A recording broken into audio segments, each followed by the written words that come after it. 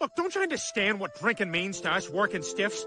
It helps us forget about our day and tell our children we love them with a straight face. It allows gross uggos to boof each other's gross uggo parts. And it gives people the courage to sneak onto their mayor's property and blackmail him and eat all his ripe tomatoes. That was a croquet ball. Ah, then could you point me to the closest nighttime dentist?